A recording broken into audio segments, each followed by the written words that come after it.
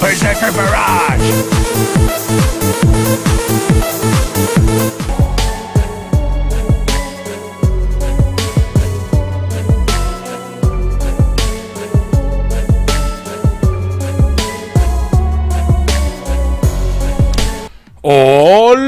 Muchachos, bienvenidos a un nuevo video del canal. En esta ocasión les traigo mi revisión, reacción, reseña cuadro a cuadro del esperadísimo taller de Godzilla vs. Kong. Sí, por fin ya salió el famoso tráiler tan esperado. Después de tantos retrasos, tantas refilmaciones, tantas regrabaciones, tantas modificaciones del guion. Y ya por fin podemos ver por dónde se va el camino. Cabe aclarar que coincide con todo lo filtrado recientemente. Sí, lo último que comentamos aquí en el canal sobre la historia coincide a la perfección. Entonces ahora sí que, ups, um, no fueron muy buenas las críticas en esas transmisiones de prueba. Así que vamos a ver que ojalá no esté tan mal como se dice. Pero bueno, el taller nos deja ver muchas de las cosas, ¿no? Cabe aclarar que tiene el taller muchos spoilers. Ahora sí que sí los tiene pero solamente el que sabe por dónde va la cosa los va a notar. Y aquí los voy a mencionar ligeramente, así que estáis advertidos. De todas maneras, no es así como que te va a arruinar la trama porque no sabes todos los elementos en, en clave y, en, y en, en, cronológicamente, ¿no? Pero de todas maneras, pues les digo que sí tiene muchos secretos que revela. No revela todos los combates, eso es lo chido del tráiler. Porque te los muestra un poco, pero no revela todas las batallas. Por lo menos hay dos batallas más que no muestra el tráiler. Está bien. Entonces, de todos modos les digo que estáis advertidos. Vamos a revisarlo cuadro a cuadro, paso por paso, para ir explicando la trama y también lo que, lo que va mostrando dentro de la historia, ¿no? Así que es parte de toda este, esta revisión. Así que estáis advertidos, tíos. Vamos a darle, pues. Sí. Inicia con una explosión. Que esto es China. Sí. ¿Qué pasa ahora con Godzilla vs. Kong? Como es el único lugar ahorita en todo el universo, güey, en todo el universo, en todo el mundo donde hay cines es China, ¿no? Y Legendary, que es la coproductora del proyecto, es, es una, compañía china. Eh, entonces, las batallas más importantes o los sucesos más importantes dentro de la película transcurren en Taiwán y en China, en otras partes de China, ¿no? Entonces, desde ahí queda muy claro. Y desde la primera escena que nos muestran en el trailer, de hecho es bastante spoilera esto es casi del final. Yo no sé quién decidió mostrar el casi cerca del final de la película aquí. Yo no sé quién lo decidió, pero esto no deberían haberlo puesto. Esto es cerca del final, ¿no? Casi, casi la batalla del final. Y este, alguien está atacando la, la, este, ¿cómo se le puede llamar? La ciudad, destruyendo. Y le echan la culpa que es Godzilla, que Godzilla está destruyendo todo, ¿no? Pero hay algo muy raro. Este como Godzilla que está ser, no Titán, se le puede decir, Kaiju, que está atacando la ciudad, no dispara rayos como Godzilla, dispara como unas especies de, de armas giratorias con luces que aquí, aquí se alcanzan a ver poco. Y con eso está destruyendo. O sea, no son rayos como Mega Beam de Godzilla, son como unas pequeñas madres electrónicas que giran y destruyen todo. Sale muy poquito en el trailer. Este cuadro, este trailer lo, lo conseguí en 4K y es donde lo conseguí la mejor calidad para poderlo mostrar, porque casi no se ve. Pero bueno, destruye todo esto. Y en las escenas de aquí, que esto es plena, plena China, se alcanza a ver a alguien allá arriba. Eso es demasiado spoiler. Desde ya lo tiraron, güey. Tiraron el spoiler más grande de la película en los primeros segundos del tráiler, güey. Se pasó de lanza Warner, cabrón. No sé quién haya tomado la decisión. Pero ahí está Mecha Godzilla, güey. Sí, ese güey que está ahí arriba es Mecha Godzilla. Tiene una activación de, de en color rojo en el pecho que lo están controlando. A este Godzilla lo manejan a control remoto, güey. Entonces cada que se activa ese, color rojo en su pecho es que lo están activando a distancia, güey. Y le dieron la orden eh, de que destruyera, hiciera desmadres en, en ciertas partes del mundo para que culpen a Godzilla y la compañía Apex se puede hacer eh, con el control, un, una fuerza militar de, para poder controlar a todos los kaijus, ¿no? O sea, eso trata la historia. No nomás es pelear al chango y a, la, Godzilla, ¿no? La historia trata de que eh, estos güeyes quieren controlar eh, todo el mundo y quieren hacer una fuerza, una armada especial para poder enfrentar a todos los kaijus, ¿no? Y eso es la sumisión de estos güeyes, ¿no? Y por eso crean este fake Godzilla, el Mecha Godzilla, para hacer esto. Cabe aclarar que Mecha Godzilla no siempre tiene este aspecto. Tiene piel en un principio, entonces yo no sé por qué aquí sale sin piel. O sea, no sé por qué lo, lo están spoileando, güey. Yo no sé. Esto es, evidente, cabrón. O sea, no, no entiendo el, el motivo, cabrón. No lo entiendo. Esto lo hubieran guardado. Pero bueno, Mecha Godzilla está bastante perro, debo decirlo. Se ven unos juguetes que no le hacen justicia. Los juguetes se ven muy culeros, güey. Los hizo Playmates, entonces están muy pinches. El Mecha Godzilla que sale en la película está poca madre, güey. Aquí no se ve mucho, pero está muy, muy perro, ¿no? Entonces ahora sí que eh, sí va a ser una locura ya cuando lo veamos en pantalla, ¿no? Total, eh, sí te muestran que está destruyendo toda la pinche ciudad, que la chingada, la gente corre y mm, aquí te dan un salto a casi la mitad de la película, no, digamos que una media hora después de la iniciada la película, cuando ya llevan a Kong. La primera parte de la película que te lo comento es Kong en la isla y son los primeros 20 minutos. Después llega el grupo de Apets, que son estos güeyes, y lo atrapan, que es muy muy parecido a como sucedió en las películas clásicas de Kong, donde lo atrapan y lo llevan a la ciudad. Solamente aquí lo están atrapando para que pueda combatir a ese Godzilla. Es el motivo del por qué lo atrapan. Pero bueno, vemos a la pirotísima de Eisa González, que, híjole, o yo no sé por qué la habrán elegido. Bueno, está muy guapa, pues, pero bueno, aquí la ponen como un agente de Apets, ¿no? Y está viendo el chango. Y dice, ay, qué changote, ve nomás que, ve nomás que, qué cosas tiene el chango. Así viendo el changote, ay, King Kong. y bueno, King Kong, bajetón, ¿no? O sea, eh, algo a aclarar y a destacar es que la calidad visual de los personajes, bueno, de los caillos monstruos de la película, es cinco veces mejor que lo que se vio en King of the Monsters. O sea, Ghidorah de repente no se veía tan bien.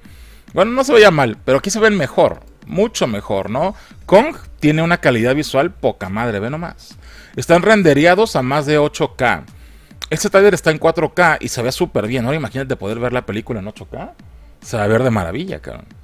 Se va a ver súper genial. Y lo llevan amarrado como puerco el cabrón, ¿no es cierto? Lo llevan con sus cadenas, que es una referencia a las películas clásicas de Kong. Recuerdan que siempre se lo llevan de la ciudad, bueno, de Kong Island hacia la ciudad encadenado bueno, es una referencia a esto, ¿no? Siempre lo tienen que llevar amarrado el pobre. Está gigantesco, cabe aclarar. Eh, no te explican en este trailer, no sé si explicarlo. Bueno, sí. en la película al principio te explican que él crece gracias a la energía nuclear que existe en, la, en, la, en Con Island. Y como él ha vivido mucho tiempo cerca de la radiación, creció de este tamaño. Esa es la explicación, por si lo querían saber. Tenemos el logo de Warner, de Warner Bros. Pictures, el cual hace alegoría, ¿cómo se llama en español eso? Em, referencia a Con Island, ¿no? Fíjense cómo está como madera y la chingada. Porque Kong dentro de la historia encuentra un árbol, que ahorita más adelante lo comentamos, el cual estaba marcado por sus padres y estaba destinado a crecer de ese tamaño. Sí, Kong estaba siempre destinado a ser como uno de los guardianes de la Tierra. Y eh, te lo dan a entender dentro de la película, ¿no? Y bueno, el, logo de Legendary es correspondiente a Godzilla, ¿no? Tiene como la, pilecita de Godzilla y el color azul de Godzilla. Entonces es como el, el, versus, que ahora sí que quedó como anillo al dedo, ¿no? Porque hace un par de meses estaban peleando ambas compañías a madrazos como si fueran Godzilla y Kong, cabrón. Ya se arreglaron, por suerte, porque ya pagó la película Warner. Pero sin duda sí, ahora sí quedó, el versus quedó más que claro, ¿no? Y bueno, llevan a Kong amarrado. Aquí está este güey se me olvida, es un Star. Eh, no, me acuerdo cómo se llama este cabrón, es Skarsgård. Es de la familia Skarsgård, pero él es el güey que hizo Tarzan y que salió en True Blood. Y no me acuerdo de su pinche nombre. Pero llevan a Kong amarradísimo, ¿no? Imagínate el poder de las. De las cadenas em, que tiene, ¿no? Pero ahí les va. Kong al parecer se está, se está dejando, por así decirlo. Él se pudo haber escapado desde un principio. Pero no lo quiere por la explicación que viene ahorita, ¿no? Dice, el, mundo necesita Kong, dice este güey, que estos trabajan para Apex. Estos güeyes son los, este güey y Isa González trabajan para la compañía Apex, ¿no? Que son los que quieren, este, supuestamente proteger al mundo de los, de los ataques de los kaijus, de los monstruos. Pero pues al final de cuentas están engañando a ellos mismos, ¿no? Creo que los, bueno, te a entender que ellos, ni ellos mismos sabían el plan de los verdaderos jefes, ¿no? Y bueno, este dice, necesitamos a Kong. Y bueno, vemos como van los, los estos, que son jets, protegiendo la embarcación con Kong. Y aquí viene la explicación de la niñita. Se ve un hilo, güey. ¿Por qué se ve un hilo? No debería verse ese hilo, ¿no? ¿O sí? Se me hace que no, ¿no los borraron? Pero bueno, la niña no estaba incluida en las primeras dos versiones de la película. Kong no tenía un, un referente infantil como lo tiene ahorita. Y como a los niños les gusta mucho Godzilla y les gusta mucho Kong, han de haber dicho, pues hay que agregarle más de esto porque a los niños les encanta. Y pongamos que una niñita es protegida por Kong. Esto no estaba en las versiones originales, güey. Fue agregado en las regrabaciones en las últimas, güey. No estaba ningún filtraje, güey. Esto fue puesto a huevo. Una niña y luego le ponen como una cinta en la cabeza, así como para que digan que parece así como, como de etnia, ¿no? O sea, no mames, cabrón, ¿no? Y ya lleva un changuito y se lo va a mostrar a Kong. Y ahora resulta que Kong la protege a ella, pues porque le tiene cariño, ¿no? Y también por eso no ataca el barco, porque en el barco va ella. Entonces, como que la quiere proteger y sabe que si atacaba el barco, pues la iba a matar, ¿no? Entonces, te da a entender que Kong siempre se está, la está cuidando a ella. Esto no estaba. Kong actuaba por voluntad propia, güey. Y aquí le impusieron que, es que tiene, ya tiene vieja y familia. Porque ahora resulta que Kong ve esta, a esta otra. Es una. No es detective, es una investigadora. Y no la ataca tampoco, güey, ni a la niña. Y las ve como si fueran su vieja y su hija. O sea, no mames, Kong marido, ¿no? Kong pinche este, mandilón, ¿no? Mandicong, cabrón. Eres un mandicong. no mames, ¿a quién se le ocurrió esto? Esto no estaba en el guion original. La cajetean como siempre, cabrón. Ay, hijo de la chingada. Y bueno, ya dice aquí, explica en el trailer que, que si es que Kong la ve ella como algo a cuidar, a, proteger, y a mí me ve igual, y nos quiere un chingo. este güey, ¿really, nigga? ¿Really? ¿Has visto el chango? te destrozaría. sí, es que me ve como su esposa. Ah, cabrón. y sí, güey, así es como de, no mames, ¿no? O sea, no chingues, Kong está gigantesco, no mames, pero bueno. Y sacan las fotos de ella para que quede claro que ella ha cuidado a la niña y ella está cuidando a la niña, pero ahora Kong también cuida a la niña y la cuida a ella. Esto no estaba, esto es una regrabación, de hecho hasta la calidad visual de filmación es distinta a la de otros metrajes. ¿Por qué? Porque eso se agregó de último momento, ¿no? Y las muestra ellas juntas y que la cuida la niña. O sea, pusieron a la niña más forzada y me le ponen como trenzas y ropas raras para que creas como que es una etnia desconocida. Ay, no habla, por cierto, ¿no? Es muda. Bonita chingadera. Total, cuando el Kong me lo tienen amarrado en la lluvia, la niña va y lo visita, ¿no? El Kong se ve poca madre, eso sí. En el aspecto visual de los monstruos no hay queja alguna. Siempre el problema es la historia, que siempre la terminan cajeteando, cabrón. Pero visualmente se ve poca madre. O sea, Kong se ve muy chingón, la niña ve lo visita. Ven, la pinche cinta en la cabeza que no se la quita ni para dormir ni para bañarse, cabrón. Y Kong así de, oh, sí, la niñita, oh, mi dedito. O sea, el dedo de Kong es más grande que toda la pinche niña. Y Kong está inmenso. Creo que es el Kong más grande que ha existido de, en cualquier película. Y ellas, no mames, se va a tragar a la niña como hot dog, cabrón. No, no mames. Aquí estaba Isa González y el otro güey, ¿no? Que son los de Apex. Y ella, no chingue, se la va a tragar. Y no, no se la va a tragar porque Kong la quiere, ¿no? Ve, nomás, pinche dedo es inmenso, cabrón. Chingoncísima la trama, ¿no? Y bueno, total, la niña de repente ya está jetona, ¿no? Que ni es tan niña, yo creo que es alguien más grande porque su mano no parece de una niña, debo decirlo. Debe ser alguien más grande. Y pone la mano así como en, la, en el barco porque siente las vibraciones de que viene Godzilla, ¿no? Y dicen, madres. El barco tiene la tecnología para determinar que viene Godzilla en camino. No creas que los va a sorprender, güey. El taller está contado como de, ¡ay, llegó de repente! ¿No? No. O sea, ellos ya sabían que venía a atacarlos, ¿no? Y usted se está sudando, pero hasta por el rancho, cabrón, mojadísimo el señor, ¿no?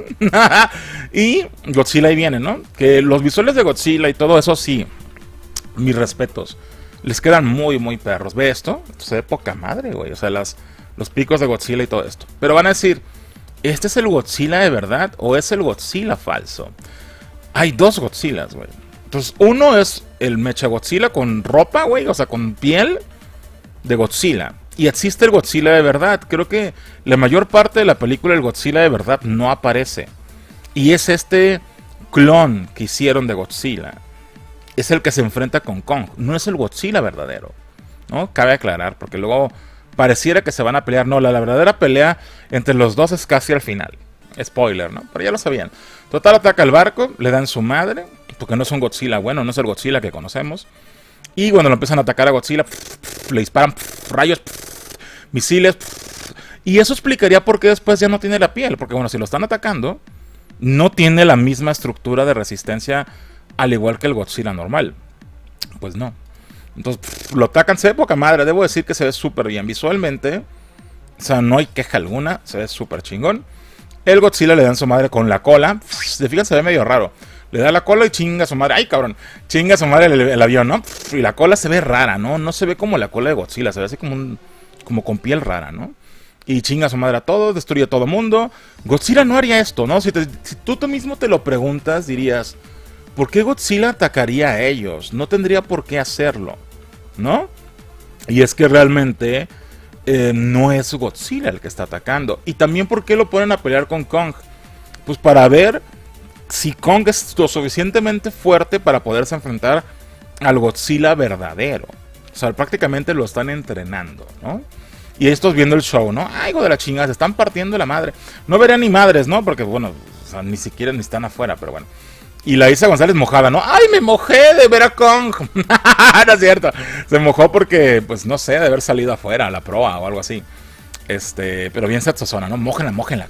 Se ve piruetísima mojada. Y le echaron así con spray. Se nota que esto fue echado con spray, güey. Con rociador, cabrón. ¿No? Y bueno, Kong, que tiene unos ojos preciosos, cabrón. Pinches ojitos chingones tiene Kong. O sea, Kong está guapo, cabrón. es Kong carita, güey. Está, está carita el cabrón. No está feo. No está feo. Ahora sí que hicieron un Kong que se viera amenazador, pero que no estuviera feo, cabrón. Le buscaron cara bonita, cabrón. Tiene unos ojazos, cabrón. Y esto es después. Esto es cuando Kong tiene esa cara de ¿qué pasó? Es cuando Godzilla se va. Porque se pelean y le pone una chinga a este güey y se va. Porque le rompe la piel. Y este güey se queda como, ah, cabrón, ¿y por qué te vas, cabrón? ¿No? Eso es el final, ¿no? Eso es el principio. O sea, está todo, está todo mezclado. Aquí es cuando va a salir del agua. Kong está. Ya lo espera el ataque. Kong sabe que va, a salir Godzilla. Empieza a golpetear en el barco. Lo liberan porque dicen: si, si tenemos a Kong amarrado, lo va a matar. ¿No? Y lo liberan ellos mismos. Los de Apex y todos liberan a Kong a propósito para que los proteja, ¿no? Es parte de la película. Y ya, ah, bueno, aquí todo está amarrado. Esto está después, ¿no? Aquí ya no tiene los amarres. Ah, no, sí los tiene, güey. Entonces, ¿cómo se pelea? Bueno, me imagino que lo liberarán en algún momento. Porque Godzilla le ha de estar poniendo primero una chinga, ¿no? Yo creo. Sale Godzilla, se ve poca madre. las, estas pinches picos de la espalda y todo. Y ella le dice, es Godzilla. Ay, no, ¿cómo crees, güey? Esto es antes. O sea, en el taller te lo muestran de una manera muy pendeja, debo decirlo. Porque te muestran... Ay, es Godzilla, ya lo vimos, ¿no? Es como muy evidente. Pero la frase que ella dice es cuando saben que viene en camino. No cuando ya está partiéndole en su mouse a Kong, ¿no? Eh, evidentemente, o sea, si no sería muy tonto, ¿no? Pero bueno, así está. Total, así es cuando sale Godzilla. Eh, ataca primero, es que son varios barcos. Primero ataca un barco y lo destruye. Este es el primer barco que ataca, ¿no? Sale Godzilla, se ve poca madre. Lo destruyen, se ve chingosísimo, debo decir. Es un desmadre, ¿no? Explota todo. Ve nomás, se ve chingosísimo. Si se fijan, su piel es como rojiza. Parece como el Burning Godzilla. Pero yo creo que este, este color de piel, este concepto, es porque es el Mechagodzilla. Si se fijan en Mechagodzilla, también tiene esta parte del cuello en el pecho que prende en rojo. Pero es un aparato, pues es metal. Esta es una piel arriba de ese Godzilla. Sí, estoy seguro. No es el Godzilla verdadero. El Godzilla verdadero tiene un tono en azul. Es una gran referencia para que lo entiendan, ¿no? Este es un Godzilla clon, por así decirlo. Y Kong, pues va, le voy a, partir tu madre, güey. Se ve perrísimo. Le tiene un madrazazo, que eso se ve súper perrón. Esto de haber costado un dineral, cabrón. O sea, simplemente de ver el nivel de detalle que tiene. O sea, no mames, pum, el madrazazo, güey. Ve nomás cómo se ve la expresión de, de Kong, o sea, todo el humo, ¿no? las partículas. Cuando se cae él, es que da, da tan fuerte el madrazo que se cae Kong.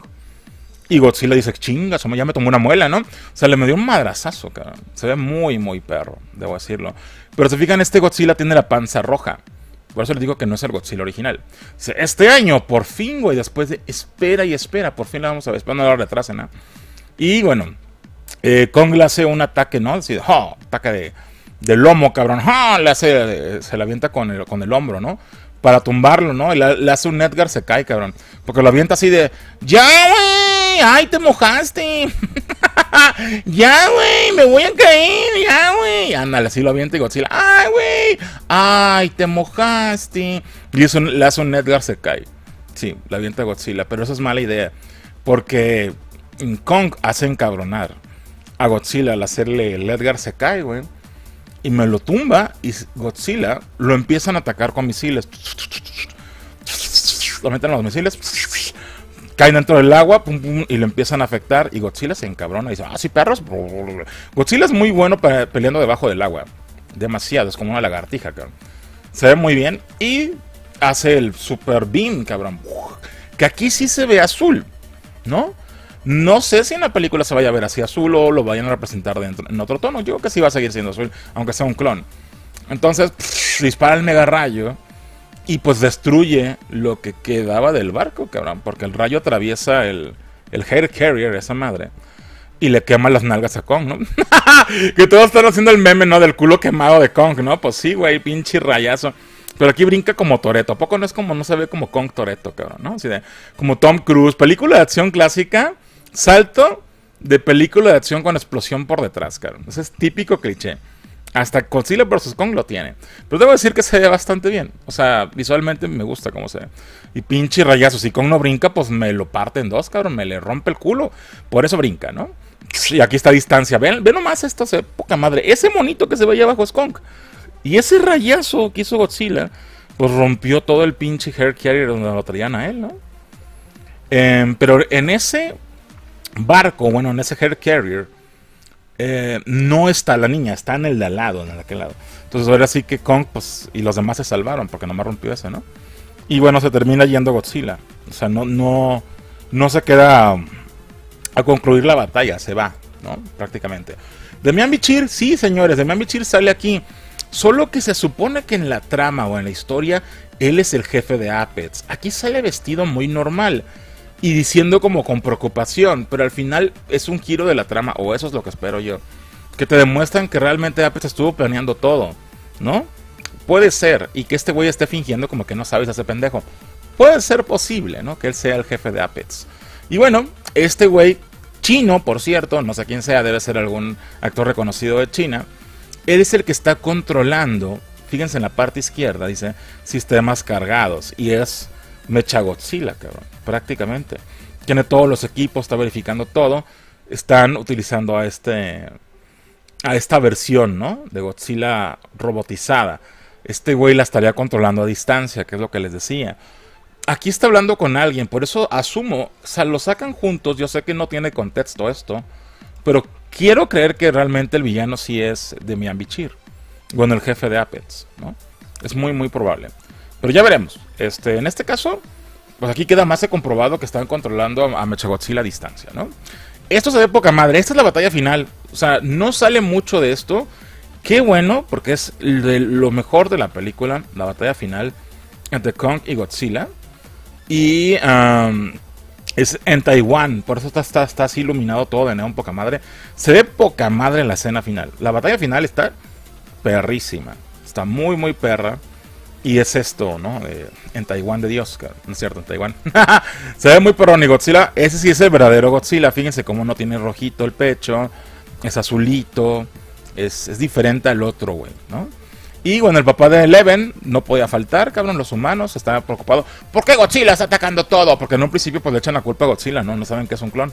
Entonces, este es el otro, fíjense cómo el pecho y el cuerpo es rojo. Y arriba es azul, pero no tan azul, ¿no? Es diferente. Y hace el Megavin, también hace el Megavin. Pero no hay una explicación de por qué Godzilla atacaría a lo pendejo. Pues es que no es Godzilla, prácticamente, ¿no? Y bueno, ah, está atacando a todo el mundo y matando a todo el mundo, ¿no? Se ve poca madre, debo decirlo. Y bueno, eso me pareció muy, muy curioso y aquí confirma algunas cosas. Este panel te dice todos los lugares en donde ha atacado Godzilla o donde han encontrado enemigos o referencias a Godzilla. Y marqué lo más interesante, que de hecho todavía no lo mencionan ni en los trailers y esto venía de los filtrajes. Y allá arriba dice Apex, Facility 6, Godzilla Attack número 3, Apex número 2, Apex Facility 2. ¿Por qué? Apex es la encargada de los clones, güey. Y aparte, pareciera que tienen sus, sus bases en África. Fíjense cómo están situados los, los, las pegatinas esas, ¿no? No han mencionado nunca nadie el nombre de Apex, no se había mencionado ni en la historia, todo venía de filtrajes y este tráiler me lo está, confirmando. Aquí están las fábricas de Apex, los ataques de Godzilla que han estado este, um, observando y ellos son los mismos que se quedaron con la cabeza de Ghidorah desde la segunda película. Con esa cabeza de Ghidorah y con un poco de Godzilla es como crean a los clones, a este nuevo clon. Entonces, em, ya está, o, sea, todo el filtraje que había salido es totalmente cierto. Aquí está, ¿no? Aquí está prácticamente Apex, ¿no? Y bueno, vemos esa camioneta. ¿Y quién la conduce? Eleven, cabrón. Algo que nadie pidió, nadie quiso, y de todos modos lo estaban poniendo, cabrón. Y bueno, sale este niño gordito que no sé su nombre. Pero sale, salía en Deadpool 2, ¿recuerdan? Es él, no sé si sea el amiguito, el amigovio o el algo de Eleven. algo tiene que ser, porque siempre andan juntos, ¿no? Y van a investigar, ella dice que no tiene sentido, que deben de creerle que Godzilla no haría esos ataques porque Godzilla es bueno. Van con este güey que es eh, Tyler Henry, ¿no? Que este güey va a salir, salía en el remake de Chucky. Y también va a salir en Eternals. Y también sale en esta película como un conspiranoico de la investigación de los Kaijus, ¿no? Entonces este güey que es el conspiranoico eh, habla con Eleven, que es la que ha tenido contacto con Godzilla, y él le cree. le dice, no tienes razón, es que este no es Godzilla. Godzilla no atacaría, le dice, ¿no? Entonces le terminan creyendo, ¿no? Entonces él les va a ayudar, supongo, a poder tener contacto o poder acercarse a Godzilla para comprobar si es él o no, o buscar al verdadero Godzilla. Es otra posibilidad. Y bueno, Kong, este es el inicio de la película. Te muestran la vida de Kong en su casa, en su rancho, en su pueblito, cabrón, la isla Calavera. Vivía poca madre, te explican cómo crece, te lo muestran brincando el chango por todos lados, ¿no? Y está bastante genial. Y te explican que él tenía que crecer a ese nivel de tamaño porque esa era la mano de su papá. Esa mano era del papá de Kong, ¿no? Entonces te explican eso. Aquí está, no me acuerdo qué decía, pero no, es muy importante. Ah, no, sí, decía ella, es que todo esto, dice, todo esto, esta guerra estaba destinada a existir. Y sí, todo ya estaba prescrito. Todos estos Kaijus tenían que enfrentarse eventualmente, lo cual está chido, debo decirlo. Y bueno, Kong dice, ah, cabrón, pues tengo unas pinches manotas peludas, ya no me, ya no me la voy a ya no me la voy a chaquetear tanto. Lo hace con con sus ojos. Ay, ya no. Una última y ya con las morras de Resident 8. con la waifu de Resident 8. Chile vampira. Así está Kong, ¿no? Bien me dijo mi mamá, si se ve la mano. Bien me dijo mi mamá que me iban a salir pelos en las manos, ¿no? Y bien tenía razón mi mamá. Dijo Kong, ¿no es cierto? Aquí está, aquí está acordándose de que, bueno, de sus papás que se murieron. Este, y bueno, que ha crecido más grande incluso que el papá, más grande. Tiene un pinche manonón, ¿no? Y bueno, total, esto creo que es el final, cabrón. Te lo están spoileando. No es el final, pero cerca del final. Porque ya trae la hacha y ya está llena de sangre. El hacha está compuesta de una de las crestas del Godzilla clon. Y tiene sangre. Quiere decir que ahí ya mató a alguien. Y en el fondo creo que se ven esas cosas verdes. Verdes pendejo. Azules creo que es la armadura de Mechagodzilla, güey. Sí, pareciera. O sea, esas madres azules son las que, digo que aventaba. Entonces, probablemente aquí ya mataron a Mechagodzilla. Probablemente. O sea, está todo mezclado para que no lo descifres, ¿no? Y bueno, eso es el inicio de la película, cuando estos te demuestran que él sigue siendo el rey del, del rey del rey chingón en la isla Calavera. Y llegan estos monstruos que, ¿cómo se llaman? Oniri, en japonés se llaman oniris. Pero aquí en América les cambiaron el nombre. ¿Cómo les habrán puesto? Hay otra cosa diferente. En las primeras versiones nomás había uno. Solamente era un monstruo. Y Kong se enfrentaba a uno solo. Pero dijeron que no era tan llamativa la pelea. Y agregaron a otro. Solo se pelea contra dos. Ahora se llaman, ¿cómo? Warbat. Sí, así como murciélago de guerra. El nombre original era Onigi. Onigri o algo así. Entonces dijeron, no, es que no suena tan, tan llamativo, ¿no? Y le cambiaron el nombre a Warbat para América. No sé si existen en la versión original, a ver, los que tienen muchos recuerdos, a mí se me olvidaron las películas clásicas, si existían estos kaijus con alas de, murciélago, de vampiro. Díganme, es que tenía otro nombre, o, o, Giri, o Nigiri, por así se llamaba. Pero bueno, ahora se llaman Warbats, ¿no? Y les dan su madre Kong, eso es el principio de la película. Es la primera pelea, cuando los mata a estos güeyes, ¿no? Porque te demuestra que es un chingón. Pero creo que después vuelven a aparecer. Sí, por aquí pareciera que es uno de estos mismos. Fíjate la cola de este güey se parece a esto y está enfrentándose a Godzilla. Entonces a lo mejor hay más. Hay múltiples de estos güeyes, ¿no? Es muy probable. Porque este es el Godzilla clon y parece que se enfrenta a uno de estos, ¿no? Pareciera. No, no, no queda claro. Esta escena sí que no sé dónde queda, ¿no? Pero bueno, Godzilla se enfrenta a uno de ellos, ¿no? Debe ser una de las batallas agregadas porque esto no estaba en los filtrajes. Kong rugiendo eh, se ve muy genial. Dice, uno solamente. Y esto también no tiene sentido. Pareciera que es como un volcán. Puede que sea el lugar volcán de la isla Calavera. Puede ser. Esto no es Rodán, ¿verdad? Rodán se murió, ¿no? A menos que sea otro Rodán. O se parece, ¿no? Y si se fijan, se ve esa luz como la cresta de Godzilla. Es muy, muy parecida. De hecho, tiene la cara de Godzilla. No es Godzilla, güey. Lo está pisando. Fíjense, acá abajo entre los pies de Kong está la cara de Godzilla. Aquí está la boca, aquí está esto y todo esto es la espalda. Pero esto qué es, güey? Esto sí no lo entiendo. Y hay varios de esos murciélagos atacando a Kong, fíjense. Y eso es como la energía de Godzilla. Miren, aquí están las crestas en la parte de atrás de Kong. Y aquí abajo está la boca, güey. ¿Será la piel que tira el otro, el Mecha Godzilla? Puede ser. No lo sé. Ahora sí que esta escena no me cuadra, güey. Podrá ser de las más recientes agregadas porque no la hallo sentido. Solo veo Godzilla en el piso, cabrón. Es así ni de plano. Pero probablemente de aquí saque la cresta para hacer la hacha, ¿no? Probablemente. Solamente uno será. Y aquí la batalla. Este al que le está dando, miren, ese Godzilla de vuelta tiene el pechito rojo.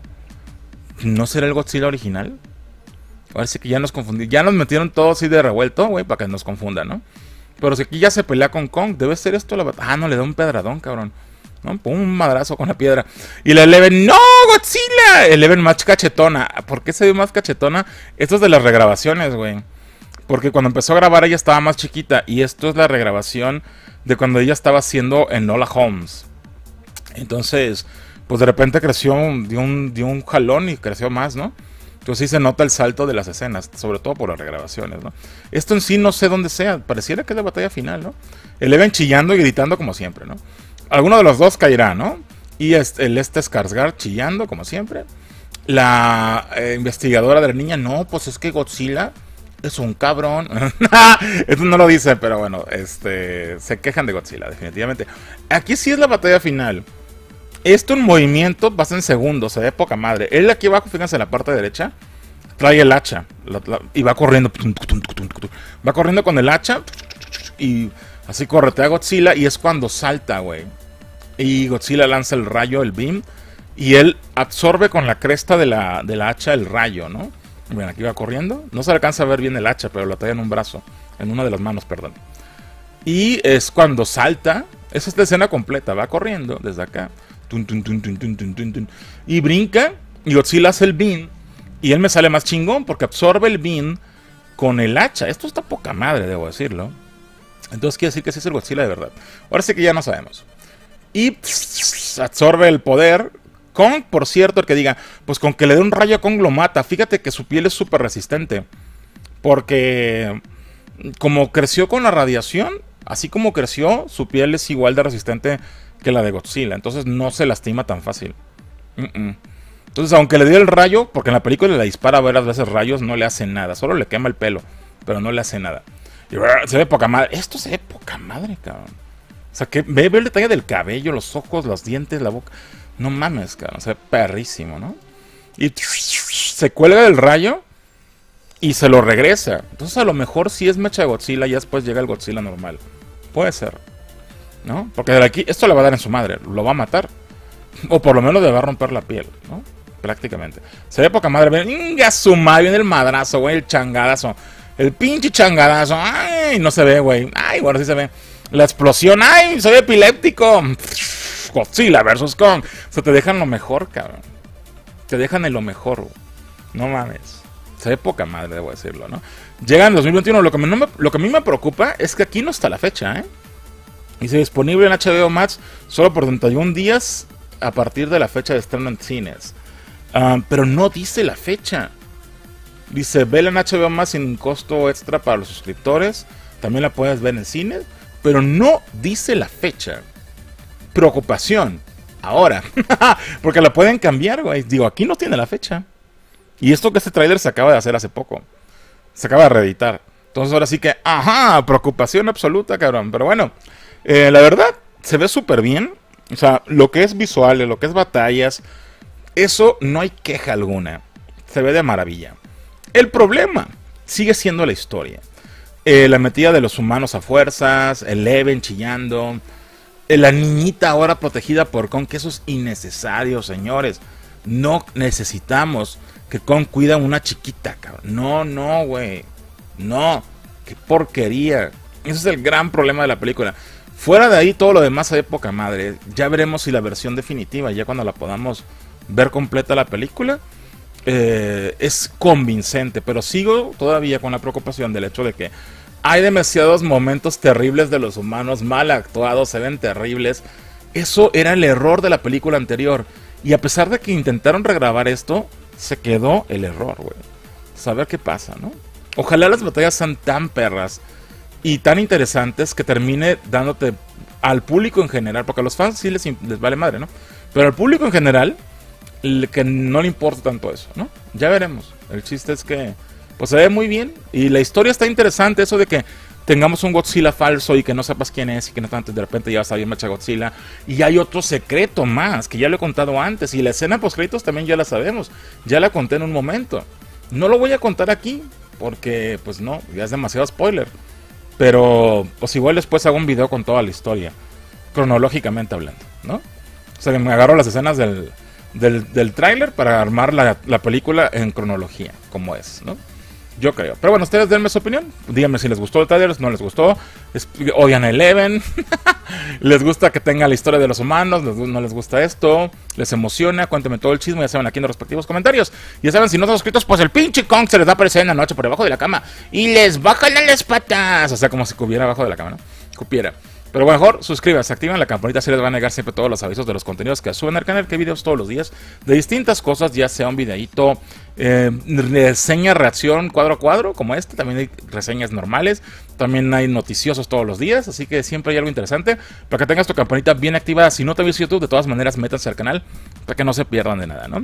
Y bueno, muchas gracias por dar like y muchas gracias por compartir este videito. Si te gustó, dale like, compártelo con los amigos, con los primos, con los vecinos, con los compañeros de la escuela, en el FedSwap, en el Instagram, en el Facebook, donde, donde quieran, porque saben que eso ayuda a que más gente conozca este contenido, esta información y se sumen a esta comunidad cosa que se les agradece, ¿no?